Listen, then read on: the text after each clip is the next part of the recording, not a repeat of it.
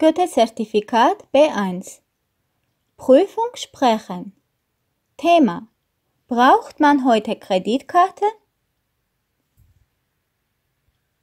In meiner Präsentation möchte ich mich mit dem Thema Braucht man heute eine Kreditkarte beschäftigen. Meine Präsentation besteht aus folgenden Teilen. Zuerst möchte ich Ihnen von meinen persönlichen Erfahrungen erzählen. Danach beschreibe ich die Situation in meinem Heimatland. Dann möchte ich über Vor- und Nachteile sprechen. Zum Schluss sage ich meine Meinung.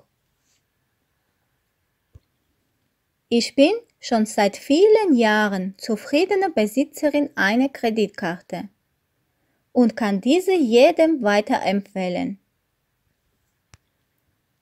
Aber ich kann nur das ausgeben, was ich vorher auflade. Und dass ich keine Verbindung zum Konto habe, finde ich sehr gut, weil ich gerade beim Online-Shoppen so wenige Daten wie möglich hergebe. Vor kurzem habe ich eine Kamera im Internet mit meiner Kreditkarte gekauft und war sehr zufrieden damit. Also, ich habe genug Erfahrung mit einer Kreditkarte. In meinem Heimatland interessieren sich die Leute nicht für Kreditkarten. Sie ist in Armenien nicht so beliebt. Bei uns bezahlen die Leute nur manchmal mit einer Kreditkarte. Früher waren Kreditkarten bei uns einfach nicht sicher. Es gab so viele Punkte im Darlehensvertrag, den man nur zur Hälfte verstehen konnte. Heutzutage ist die Situation ein bisschen anderes. Aber die Jahresgebühr ist trotzdem hoch.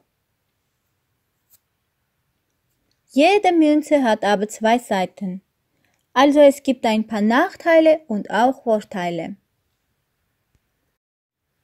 Als Vorteil höre ich häufig das Argument, dass man mit der Kreditkarte weltweit bequem und sicher bezahlen kann. Dazu zählen zum Beispiel Flüge, Hotels, Restaurants, auch Tickets für Konzerte und beliebte Sportveranstaltungen können häufig nur mittels Kreditkarte bezahlt werden. Egal, wo Sie sich auf dem Globus gerade aufhalten. Aber die Kreditkarten haben auch einige Nachteile.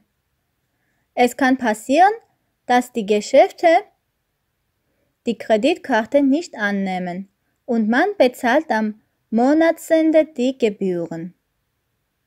Man kann auch nicht in alle Geschäften mit Kreditkarte zahlen. Außerdem muss man eine Jahresgebühr zahlen. Ein weiterer großer Nachteil ist, dass Kreditkartennummern im Internet gestohlen und missbraucht werden können. Zusammenfassend wollte ich sagen, dass man das Limit möglichst niedrig setzt.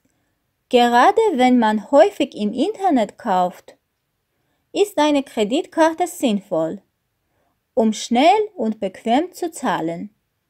500 Euro sollten erstmal ausreichen, um trotzdem lustige Dinge zu tun, wie etwa Autos mieten oder Flüge und Hotels buchen. Und auf jeden Fall muss man immer auch Bargeld dabei haben. Jetzt möchte ich Schluss machen und mich bei Ihnen für Ihre Aufmerksamkeit bedanken.